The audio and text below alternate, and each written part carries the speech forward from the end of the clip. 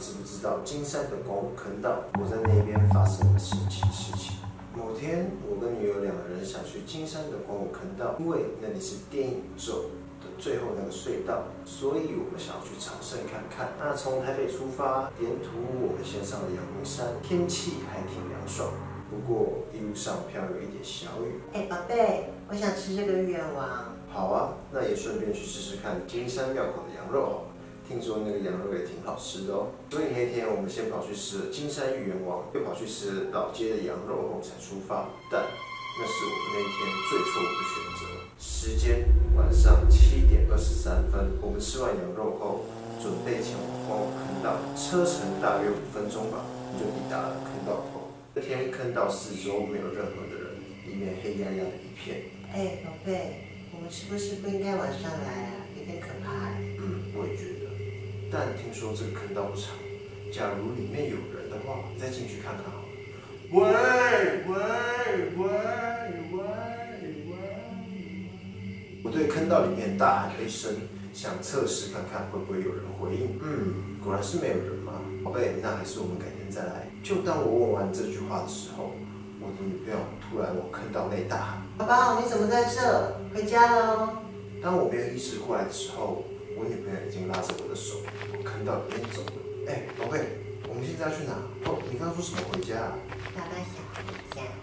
女友说完这句话后，我瞬间整个脊背凉了一下，因为女友刚刚说话的口气，瞬间变成一个一两岁的小孩子。这里，嗯，这里。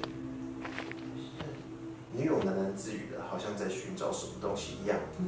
嗯，嘿嘿。女友这时候边笑，手边比向墙壁，而我猛然往墙壁一看，墙壁上写着一行字：祝阴寿，诅咒为告，神明令家殃救业。我看到这句话的时候，瞬间毛骨悚然，因为这句话的意思大概是用语言告诉神明，要求要惩罚恶人，且以此向神明发誓。女友看着我。对我露出了一抹微笑，然后又用小孩子的声音告诉我说：“带我完这句话之后，不发一语的，又快速把我拉离了那个山洞。整路一头雾水的我，就快步跟着他离开了山洞。然而，我们在回家的路途中，我不停的问女朋友到底是发生了什么事，但她却一直跟我说没事，像隐瞒了什么。直到我们回到家里，她一踏进我们家的客厅，马上冲去。家里的圣母娘娘前面开始不停的流泪，连续讲了很多次的抱歉。就在他问了某一个问题，值了三次行规后，突然强硬的也把我拉到了娘娘面前，不停的要我忏悔祷告，同时也告诉我刚才到底发生了什么。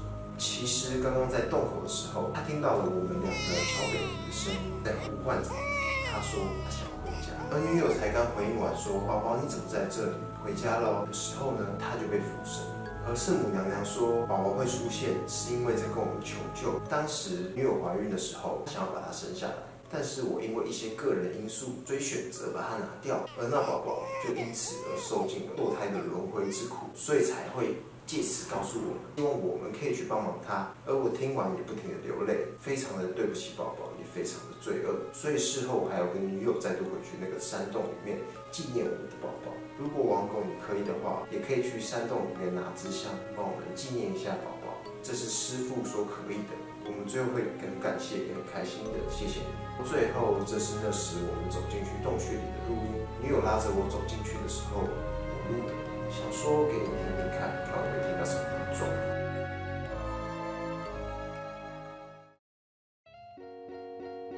没错，这一篇故事呢，就是我收到了一篇网友的投稿。就因为这样子，我想说，那不如我就真的去一趟光武坑坑道看看，去找找看那个网友所说的那行墙壁上的字：诅咒为告，神明力，家殃就业。会在一个坑道里面出现这样的一行字，是有一点怪怪不寻常。堕胎这件事是有关于人命的嘛，所以台湾的确有一些庙宇有在帮人家做超度英灵的一些习俗文化。那我接下来呢，就以这个男主角的身份一路出发，然后往金山，可以的话去那边吃吃看他说那个羊肉吧。然后接着进入那个山洞里面祭祀，最后呢再假装身为一个堕胎者，去庙宇里面参观看看到底所谓的超度阴灵这个过程是什么样的呢？有这样的一个服务，肯定就是会有这样的一个受众。那，我们就直接出发，Go。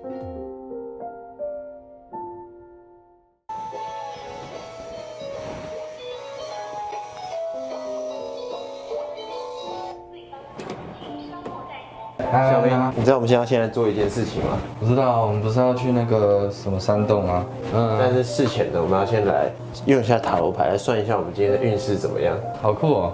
好啊，那我们现在呢，就是要用塔罗牌的三张牌阵，然后来算出呢，我们今天去山洞出发前的运势，以及在山洞探险的时候的运势，及我们回来之后的运势。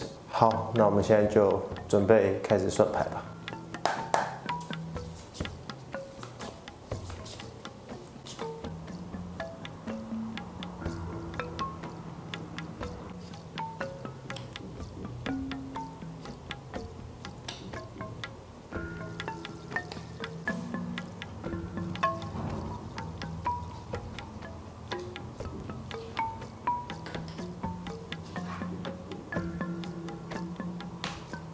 哇哦！